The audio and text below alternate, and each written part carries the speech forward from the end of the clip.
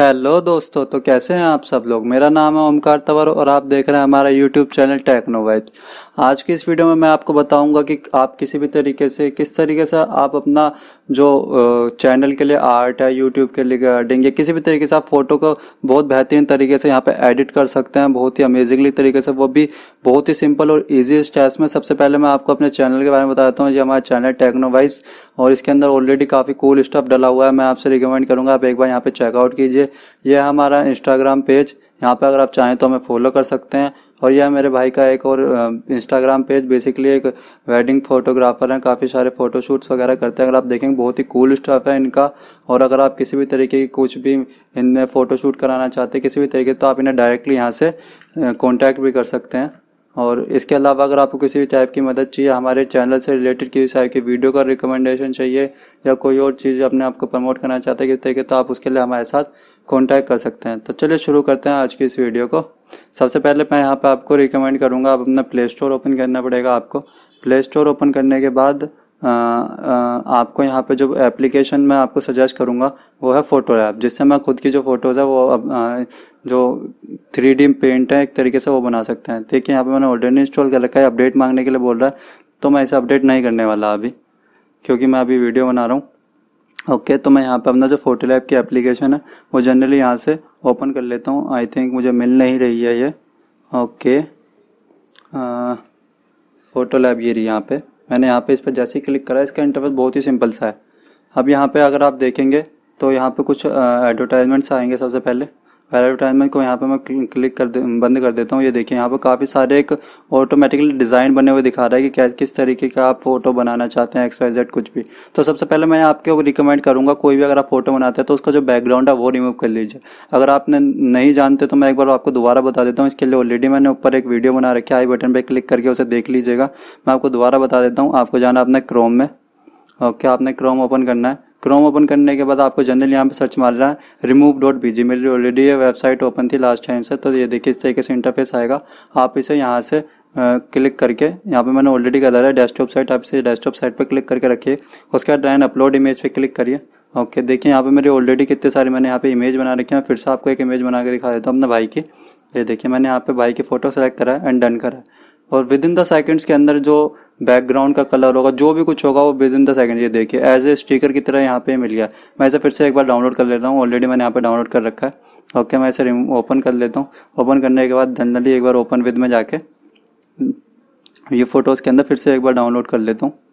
यहाँ से मैंने इसे यहाँ से फिर से डाउनलोड कर दिया। उसके बाद मैं यहाँ पे आपको जाता हूँ। अब जो एप्लीकेशन है जिसके थ्रू मैं अपनी फ़ोटोज़ या आ, कोई भी फ़ोटोज़ चीज़ या जो भी चीज़ एडिट करता हूँ वो यहाँ पे करता हूँ। उसके बाद यहाँ पे मैं जाता हूँ कोई भी एक यहाँ पे कूल सा जो है जैसे ये लड़की वाला मैं इसे यहाँ पे सेलेक्ट करता हूँ और यहाँ पे जो भाई वाला फ़ोटो है वो मैंने यहाँ पे करा सेलेक्ट ओके ये देखेंगे मैंने यहाँ पे सेलेक्ट करा देन यहाँ पे मैं तीर वाला जो निशान है उस पर क्लिक कर देता हूँ तो विद इन सेकेंड के अंदर ये यहाँ पे प्रोसेसिंग में लेगा क्योंकि इंटरनेट से चलते हैं रिकमेंड करूँगा कि इंटरनेट स्पीड अच्छी होगी जितना उतना जल्दी यहाँ पे आपको ये रिज़ल्ट भी प्रोवाइड करेगा ओके यहाँ पे देखिए ऑलमोस्ट डन दिखा रहा है ओके ये देखिए, यहाँ पे ये इस तरीके से आप बहुत ही अमेजिंगली अगर आप देखेंगे कितना अच्छा सा फ़ोटो यहाँ पे बन के नज़र आया है मेरे भाई का।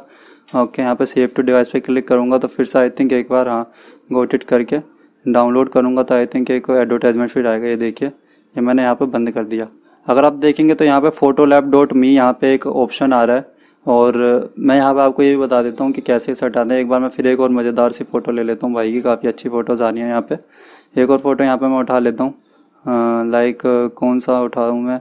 बेसिकली अगर आप देखेंगे तो येलो वाला काफ़ी ट्रेंडिंग में है, लेकिन इसके अलावा अगर मैं उठाता हूँ तो लाइक मैं येलो वाले फिर से उठा लेता हूँ, क्योंकि इस पर मैंने ऑलरेडी अपने भी वो बना रखा है। उसके बाद मुझे फिर दोबारा भाई वाला फ़ोटो उठाना पड़ेगा। एंड देन यहाँ पे एरो बटन पे क्लिक करना पड़ेगा। जैसे एरो बटन पे क्लिक है प्रोसेसिंग इसके अंदर थोड़ा कम प्रोसेसिंग है टू ही प्रोसेसिंग है, ये प्रोसेसिंग हो रहा है। ओके इंटरनेट स्पीड के ऊपर थोड़ा डिपेंड करता है, बाकी है।